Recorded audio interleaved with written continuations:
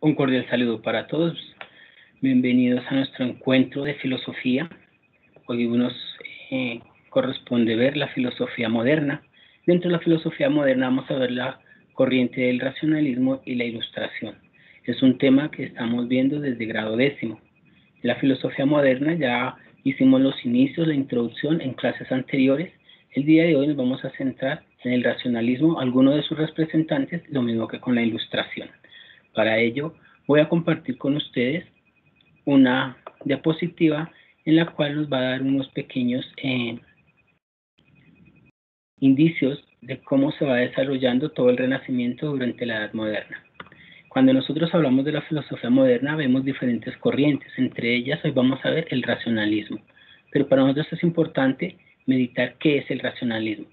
Cuando nosotros hablamos de racionalismo, se entiende por racionalismo la doctrina filosófica que afirma y sostiene la supremacía de la razón. Para este momento ya el, la razón, el pensamiento en pasa, en, comienza a ser un fuerte en este movimiento. El racionalismo es la, la absolutización de la razón, es decir, es único, es la fuente y es lo más grande que tiene este movimiento. Por ende, cuando hablamos de la, razón, también tenemos que entender que la tesis del racionalismo se caracteriza por lo real, por los conceptos o sistemas mentales y a la aplicación de las ciencias en términos lógicos. El racionalismo tiene muchas características, pero en este momento la real, lo que es exacto, lo que es propio y que tiene un concepto claro que nos permite a nosotros llegar a una explicación científica o una explicación exacta.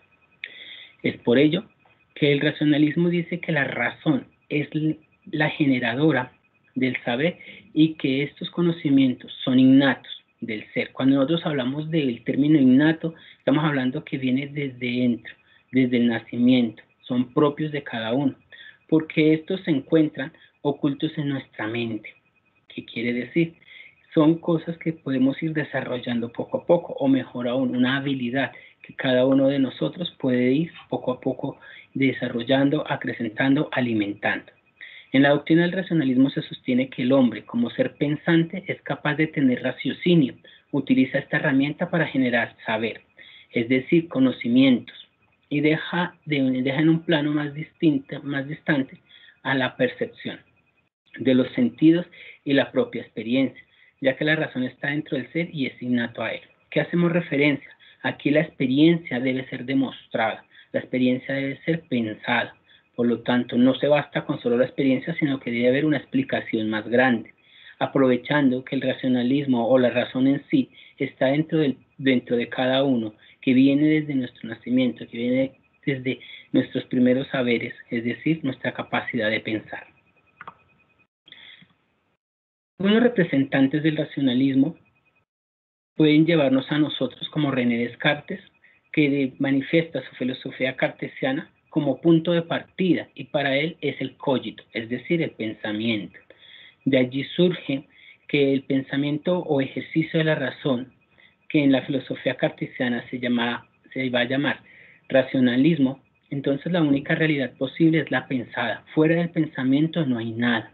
Por lo tanto, para Descartes, pienso, luego existo.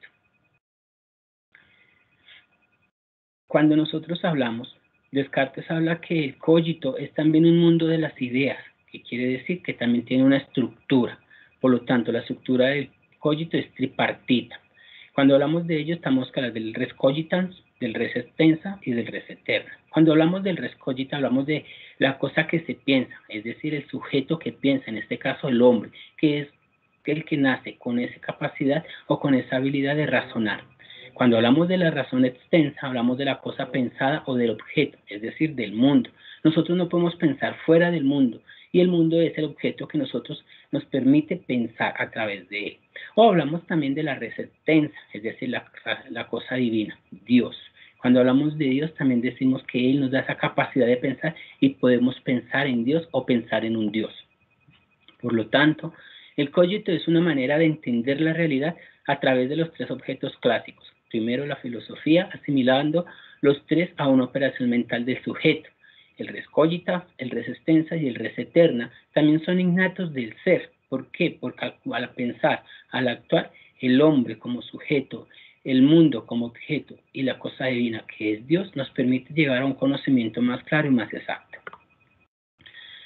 Dentro de estos encontramos grandes filósofos del racionalismo como Nicolás de Maquiavelo, Nicolás Malabrenche, Baruch Spinoza, William Leibniz, Francis Bacon, Thomas Hobbes, John Locke y George Berkeley, Clooney y David Hume. Cada uno de ellos también aportan desde el racionalismo la capacidad del ser de desarrollar sus habilidades a partir del pensamiento. Nuestro segundo paso o nuestro segundo tema del día es la ilustración francesa. Cuando nosotros hablamos de la ilustración tenemos que entender que es un movimiento, es el movimiento más representativo del siglo XVIII, que coincide con las revueltas populares que desencadenan en consecuencias políticas y de Estado, es decir, las grandes revoluciones del siglo XVIII que conllevan a la independencia de los Estados Unidos de América y la Revolución Francesa. En este recordemos que de allí surgen lo que es los derechos humanos que más adelante también con, con Antonio Nariño llegan a Colombia. Este movimiento es conocido también como ilusionismo, porque Consideraba que la razón era la luz que iluminaría el conocimiento. Todo conocimiento debe ser razonado, como todo pensamiento también debe ser razonado. Así que el conocimiento humano para sacar a la humanidad de la ignorancia y de esta manera ilustrar, instruir un mundo mejor. Por esta razón el siglo XVIII suele ser llamado el siglo de las luces. ¿Por qué? Porque la ignorancia viene siendo como esa parte oscura que tiene el ser y cuando llega la ilustración con la parte de la razón, llega esa luz, es decir, ese conocimiento, esa sabiduría. También tenemos grandes pensadores de la ilustración, entre ellos algunos de los, de los personajes destacados de la ilustración fueron Charles-Louis de Secondat, Baron de Montesquieu, filósofo francés, escribió El espíritu de las leyes, donde establecía el principio de la división de los poderes del Estado en legislativo, ejecutivo y judicial.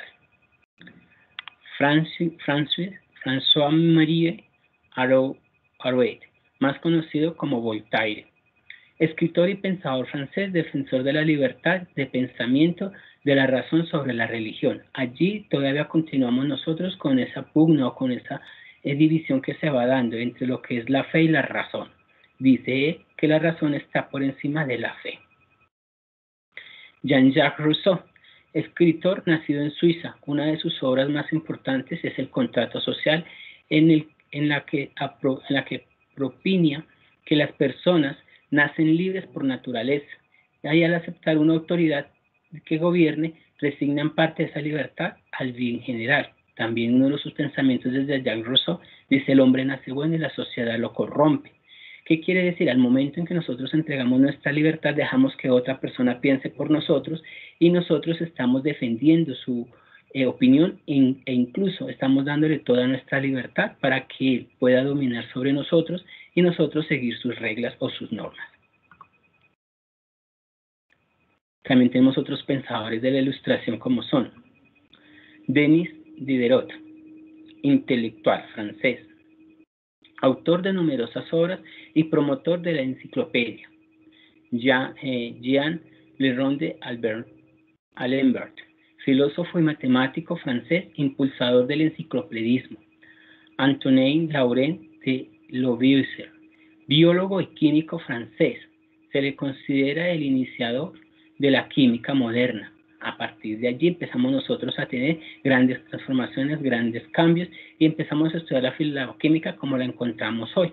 Gracias a esos avances podemos hablar nosotros que esa luz que nos, eh, nos llega a nosotros o esa luz que nos saca de la ignorancia no solamente está basada en la filosofía, también está basada en la literatura, en la biología y en la química.